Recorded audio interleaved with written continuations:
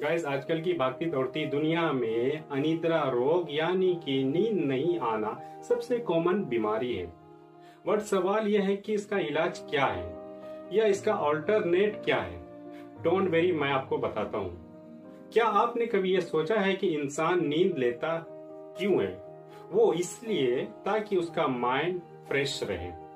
और आपके जानकारी के मुताबिक मैं बता दूँ कि बहुत सारे रिसर्च में ये पाया गया है कि मात्र 20 मिनट के मेडिटेशन दो घंटे के नींद के बराबर है।